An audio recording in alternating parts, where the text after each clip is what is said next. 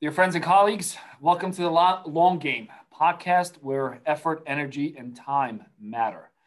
My guest today is um, a colleague and a friend who works out of a wonderful um, campus in Hoboken, New Jersey, Tej Patel, who's the Vice President for Information Technology and Chief Information Officer. He has joined that university right around the same time in August of last year, right around the time when I've joined my current assignment in my current role.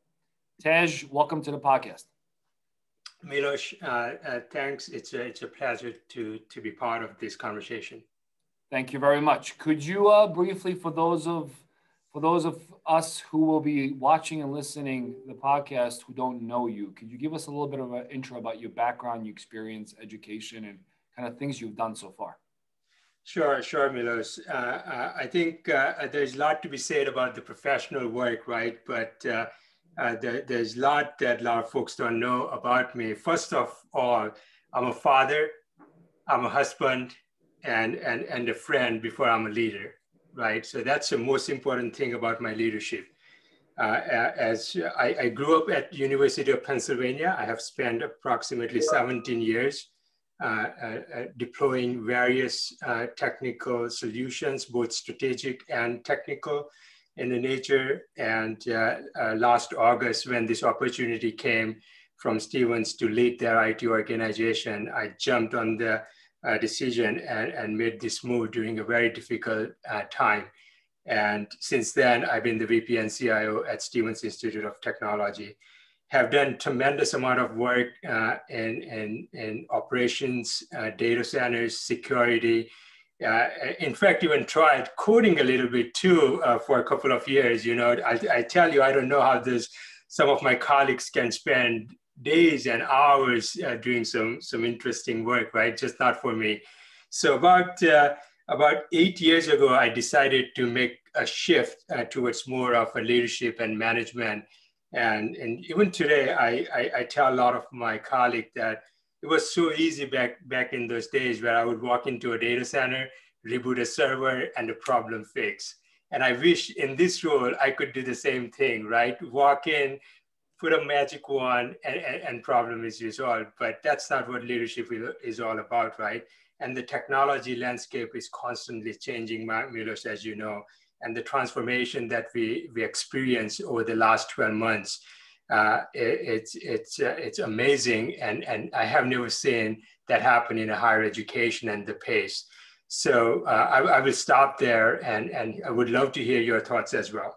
I, um, I agree with you wholeheartedly. And it's interesting how um, the, the more you get involved and immersed in leadership in many respects, the lonelier, lonelier it gets because uh, you have less people to point to and say, now what, right? Because at some point it's you, because everybody else is pointing to you and asking, now what? So, um, and I, I, I, resonate with your experience. Um, some of my roles um, over the last couple of decades have also been very, very technical. And I enjoyed being, you know, in the server room and getting stuff done. Right. It's programming or developing or security assessment or an audit. It's me and technology. Um, they were um, you know, little to no emotions and not many other challenges and not many other perspectives, not many, in some cases, egos. You just got to the point, it was very functional, ones and zeros, and it either works or it doesn't. Right. right? And you knew that early on. So interesting, you said eight years ago, you started being more intentional about shifting into leadership. In the last eight months, roughly eight months that you've spent at Stevens, how have you seen the priorities change from your kind of entrance into your role to where you and your team is now? What would you summarize are your current major priorities for both yourself, your team, and perhaps even the entire university? I think it's a great question, Milos. Uh, uh, Stevens um, has tremendous amount of pride when we say technology at our core and excellence in all we do and, and we are one of the top ranked university when it comes to STEM-based learning and offerings. Uh, with that in mind, uh, the, the highest, the major priorities, what I call them as, as, as my vision and pillars, it was a slightly different approach I took when I joined this organization. Instead of having a hundred day uh, marching orders or plan, I took a complete different approach because I still haven't been on campus more than two times, by the way. So it all has been virtual, this entire transition. We'll talk a little bit more about that. And in terms of priorities, so I laid out four major priorities uh, for, for Stevens, uh, for myself, uh, and for the IT organization. First is, it's I call Protect Stevens. Uh, it's a cybersecurity uh, program that I launched uh, back in August when I joined Stevens. It is one of the highest priority for us to provide meaningful, secure uh, environment uh, to our workforce who's working from anywhere nowadays. Uh, the second one I call is One IT. We saw there was a lot of um, uh, centralization and a combination of centralization and decentralization. Um, and it was very important to build out that One IT culture that works towards providing uh, high quality services to our faculty, staff, students, alumni, our corporate partners. So that's the second uh, um, uh, uh, priority. A third one, it's sort of always been there in higher education, but sort of never got momentum until pandemic happened. And I call that teaching with technology, right? And there is tremendous amount of opportunities, uh, particularly to this pillar at Stevens, as we continue to build out some of the capabilities in the coming months and years.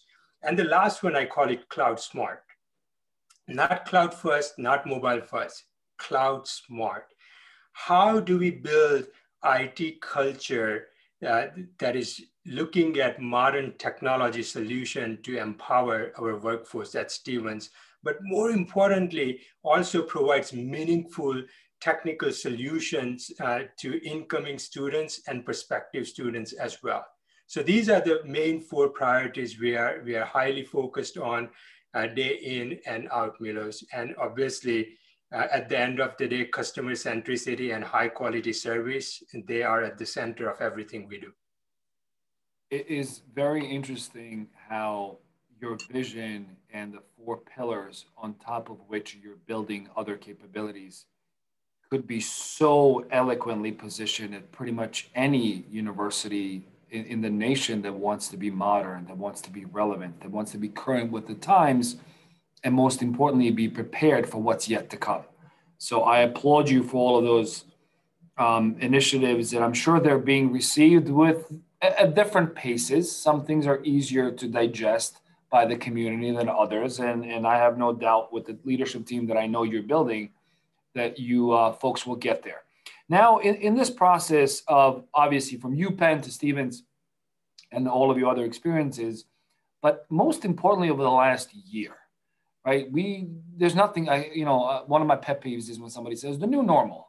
There's nothing normal about this, right? People are human beings. Whether you're an extrovert or introvert is a separate conversation but we want to be around others.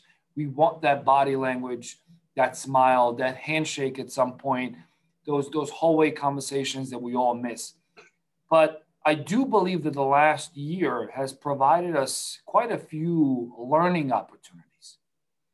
What are the ones that stand out for you?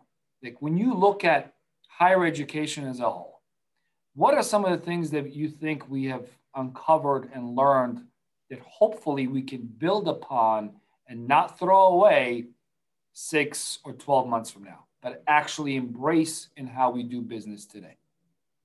I think that's a, that's a really, really uh, important question, uh, uh, uh Milos, Milos. And I think one of the best thing that, that I have noticed uh, uh, throughout those last eight months in digital everything is how do we approach problem solving, right, in this virtual world?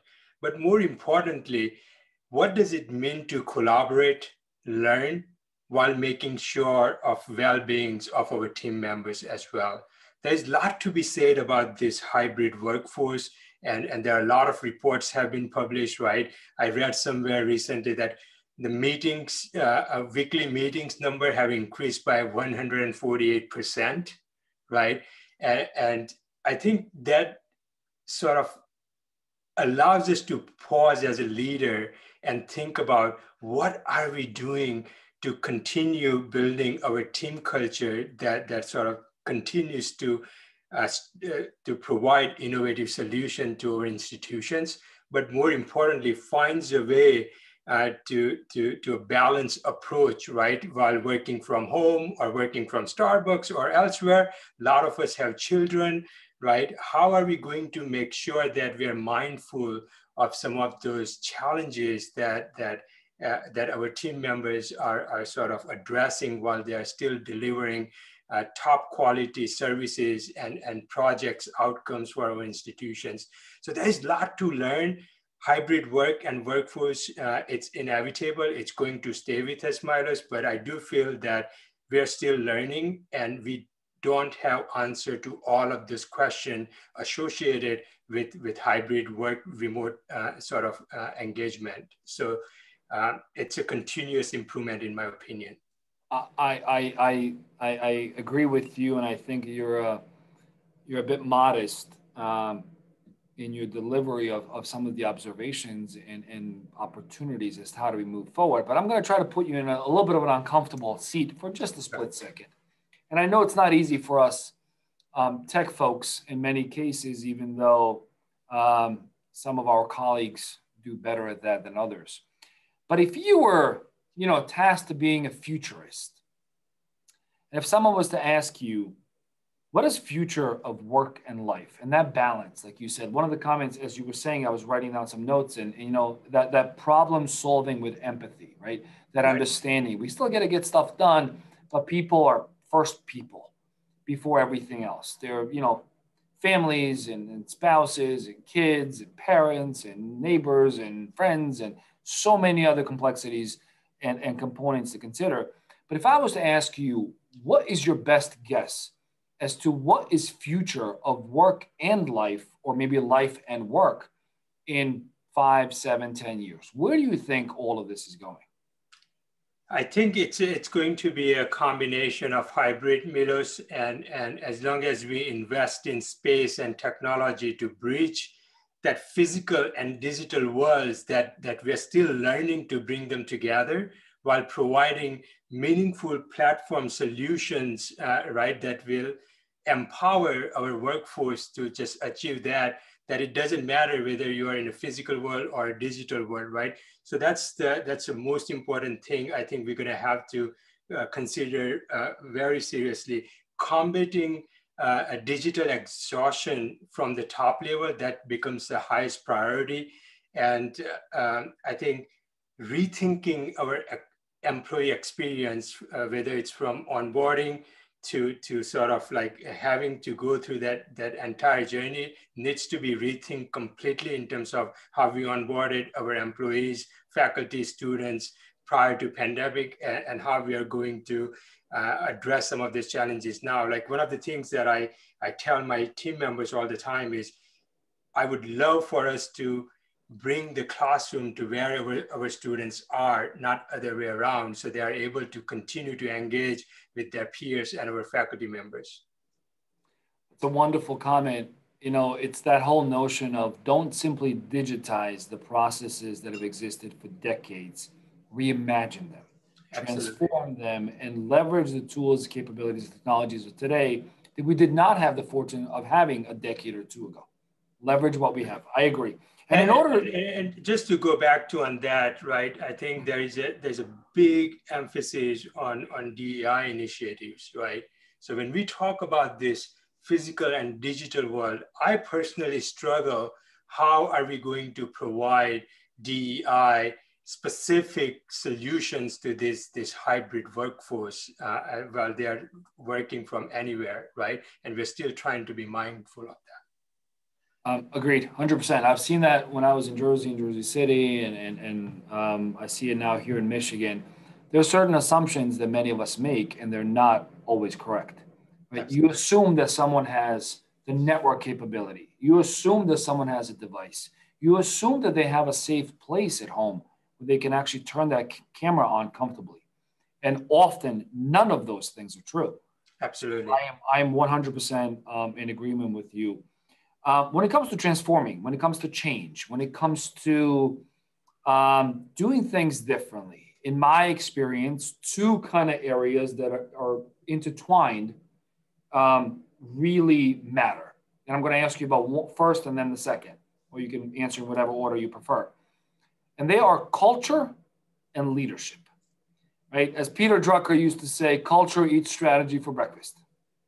And I've also worked with and for many people who are exceptional leaders. And I've also worked with those who were in leadership positions, but not necessarily leading.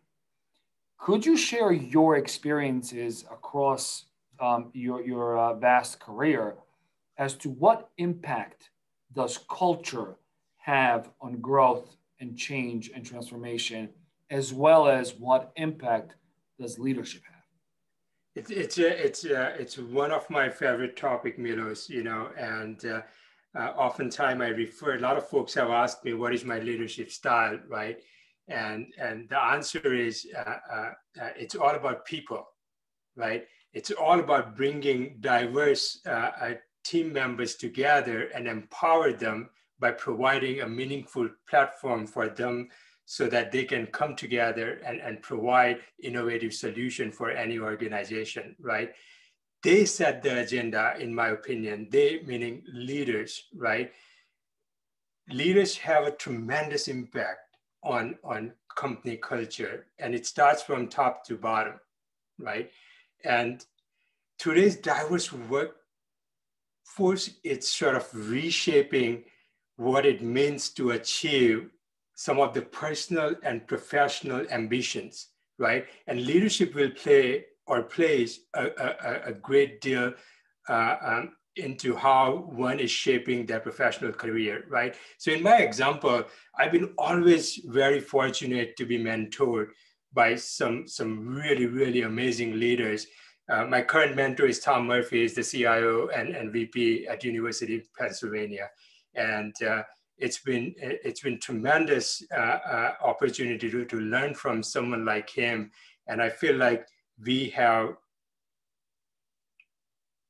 a greater responsibility to create a safer environment for our team members so that they can come to work and, and, and express their ideas, express their, their emotions, right? And, and feeling uh, that they are safe, it's a safe zone for them. And that ultimately sort of leads towards uh, uh, what I call, again, in my, in my Stevens area is one IT, right? That's what we are trying to build. How can we come together to provide uh, a, a world-class customer service to, to our constituents. I think that's the, that's the bottom line from the leadership perspective. And it's our job to enable and empower our, our, our, our culture, our team members just to do that. Well said. When it comes to growth, when it comes to progress, when it comes to advancement, um, the only thing certain is change, right? Um, at some point, someone went and bought a thousand horses right before Model T went into production long term, if the intent was to buy horses for people to commute to work, longer term, they lost, right? Mm-hmm. So when it comes to innovation, when it comes to fostering it, enabling it, encouraging it, supporting it, how do you go about it? What is innovation to you? What does it mean? How do we go about it? And why does it truly matter to each of our organizations? You, you, Milos, uh, you, you, are asking some really, really good questions. And, and these are some of the areas that I, I dabble in, in, in day in and out, right? Most recently, I think someone told me innovation is dry without motivation and drive, right? So this goes, and, and you won't believe this, this happens to be a 12 or a 13 year old girl who was uh, uh, on the Times Magazine. Uh, and, and, and, this is the sentence coming from a 12 year old, uh, a child uh, who has done so much innovative work. And I was so inspired by that. Uh, innovation is so important in, in, every aspect of our life, right? Uh, innovation allows us to solve complex, challenging problems, right? It allows us to sort of effectively respond to unforeseen events, right, such as pandemic. Look at what happened over the last eight to 12 months from no vaccine to, to, to development of vaccine. And, and now all of us are going through uh, first doses and some of us are, already have gotten our second doses, right? So it has a, a greater societal impact overall when we talk about innovation. And that's the way I look at innovation. Um, on, the, on the other side, right, I have heard things around uh, smart cities, right? Uh, things around home of things or home things, right? It's becoming extremely popular. And, and I feel like uh, uh, digital transformation and innovation goes hand on hand to improve our day-to-day lifestyle. And, and that's, uh, that's a one or two uh, comments I have around innovation. And another thing is, is about innovation is it provides meaning to, to some of the areas of research, right? That, that we, we help a lot of our faculty members and researchers in higher education, but also in the corporate world, a lot of those folks depend on, on technology to provide innovative uh, um, responses to some of the challenges uh, uh, that we've been trying to solve together. So that, that, that these are a couple of ways that I look at innovation in general. And, and obviously, uh, it motivates me every time I look at a problem. Can we find a creative creative solution to this problem, right? Let's just not try to solve it uh, the way we have been doing this, right? Can we find a, a, better, improved way of doing the same thing again, right? So that's the way I look at it. It excites me. I get motivated, and and I try to share this vision with the team all the time. I, I don't know if I answered your question fully. You you have. Could you restate the question that that twelve year old girl or the state the comment that she made? Innovation is dry without motivation and drive.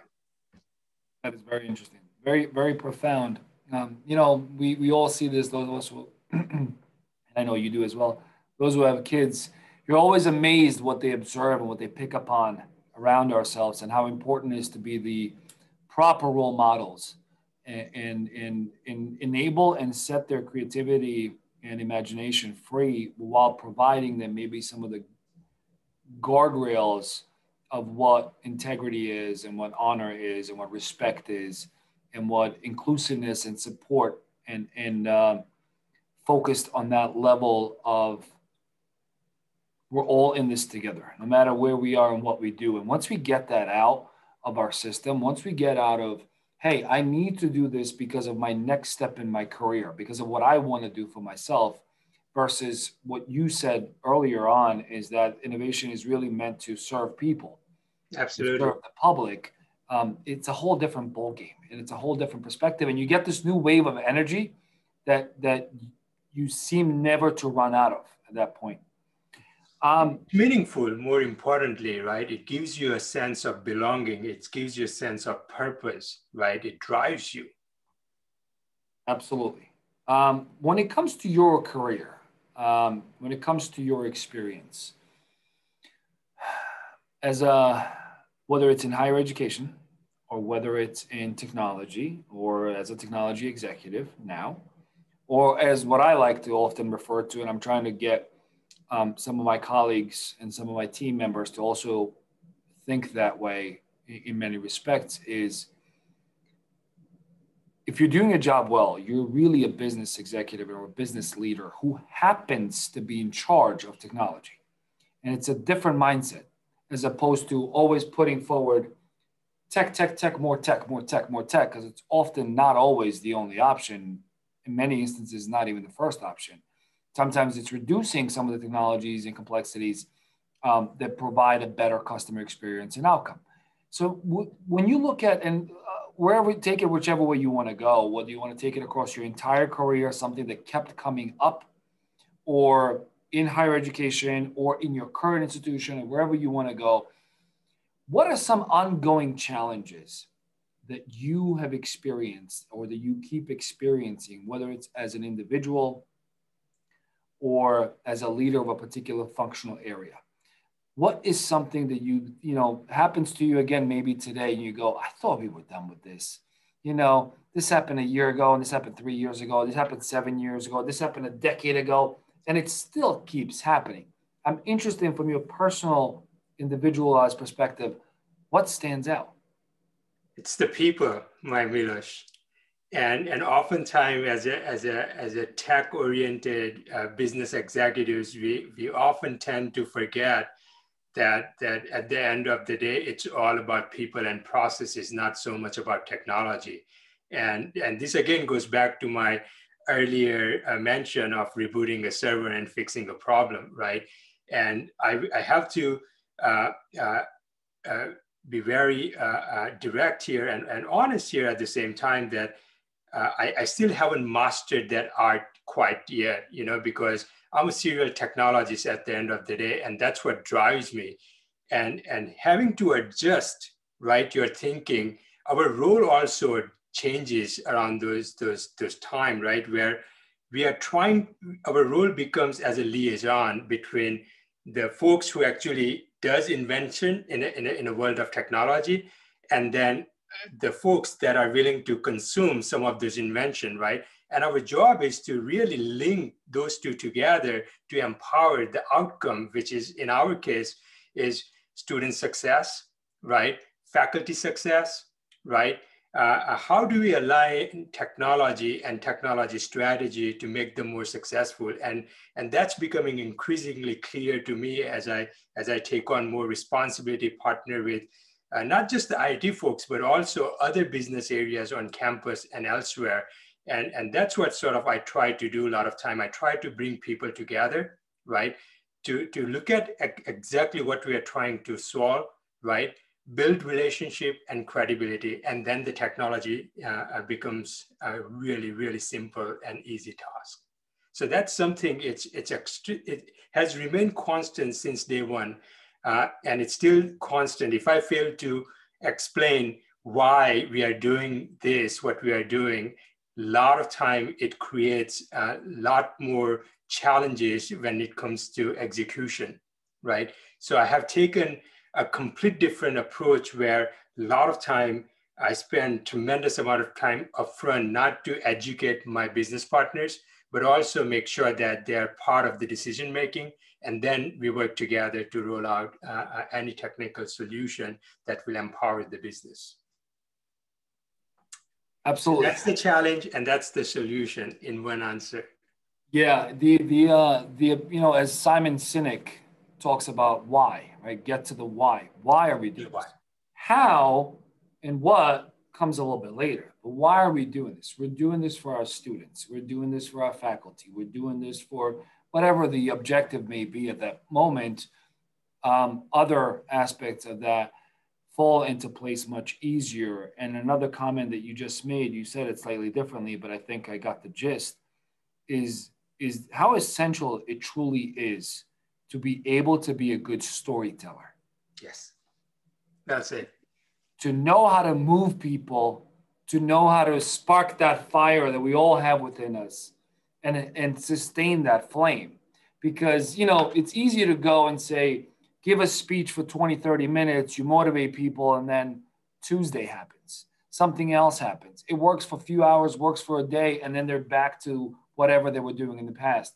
Is finding a way to tell that story and tie it to how relevant they are to this journey and how truly much their contributions matter. Yeah.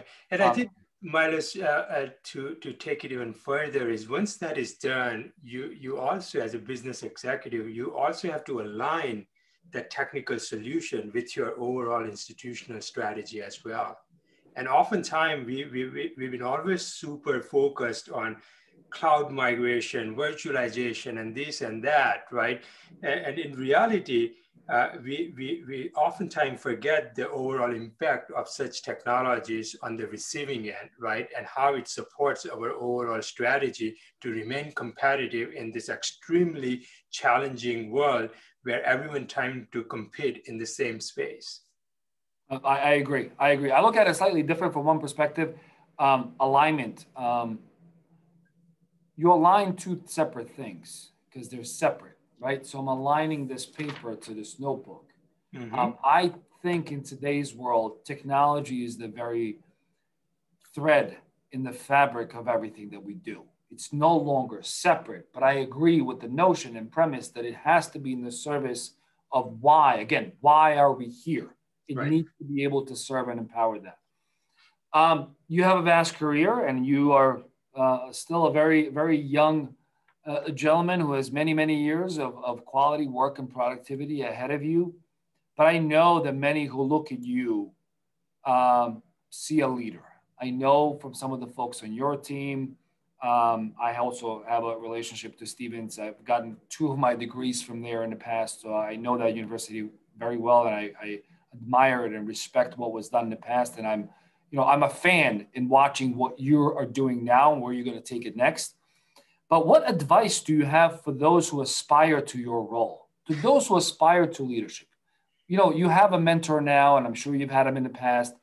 But to those who are looking to you as a mentor and a leader, what advice do you have for them as they guide and shape their own futures and their own careers?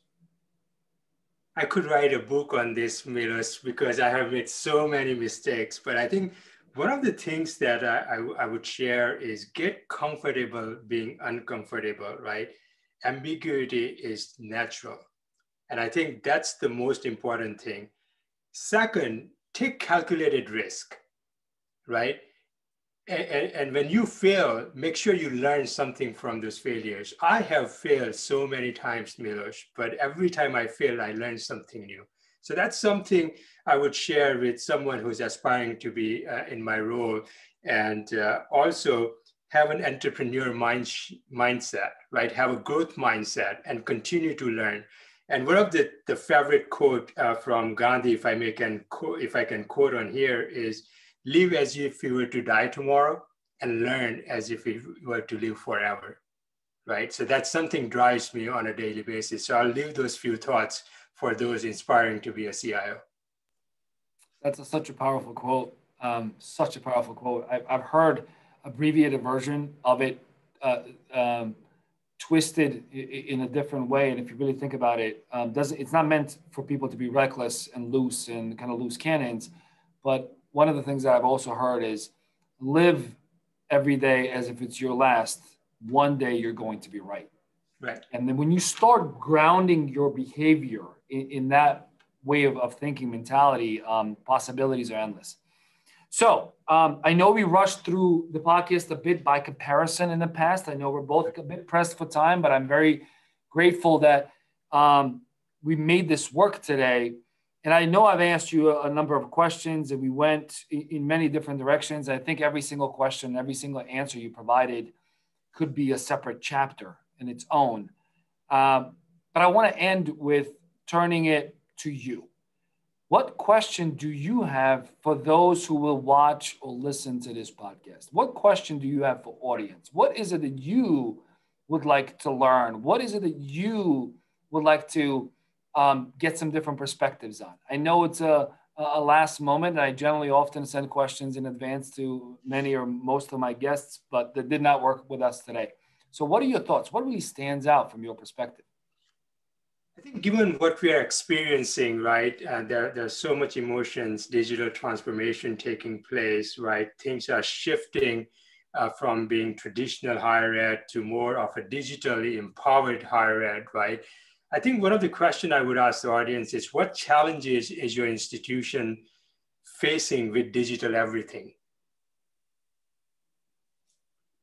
Right? And what are the expectations uh, uh, uh, from your executive leaders to, to sort of support ongoing uh, uh, innovation and, and learning and teaching um,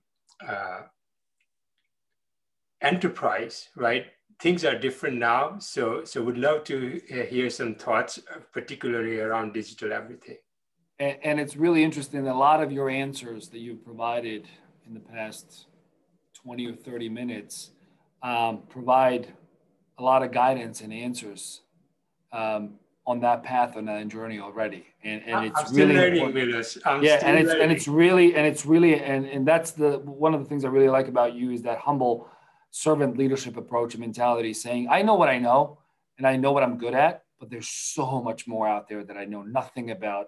So let's make sure that every day is a learning experience. Absolutely, and and the fact is, no matter what we are doing, uh, uh, the the reality of this is it's and that's sort of I, I wake up every day and I think about it. Milos, our our team members are struggling because of this pandemic, right?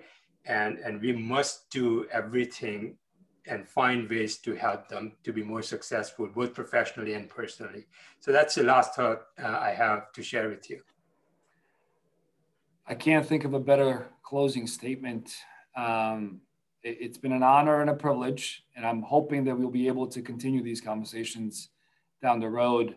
Um, you have a fan in me in your approach and in the approach of, of university and where it's moving forward. I'm looking forward as an alumni to see where Stevens is going to go next and where technology can be of that positive change and positive service to people, to the community.